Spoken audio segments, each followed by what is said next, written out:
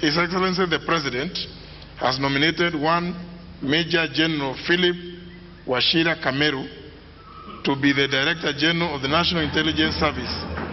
Spy agency NIS is said to have a new boss from the military intelligence with the president's nomination that now leaves his fate in the hands of parliament.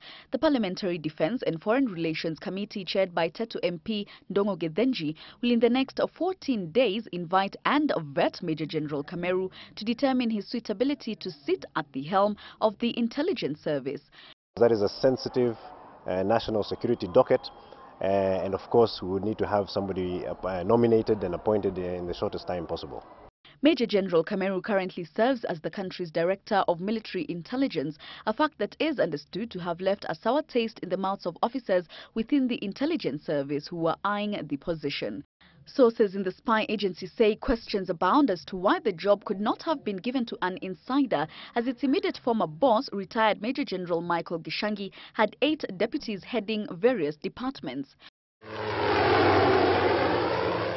Major General Kameru is said to be the mastermind behind the success of KDF in Somalia. He has served in the military for 36 years and has been decorated with 11 medals. He is an alumni of the National Defense College in USA where he graduated with a Master of Science in National Resource Strategy. He also holds two other master degrees in International Studies and Security Management from the University of Nairobi and Leicester University in the UK.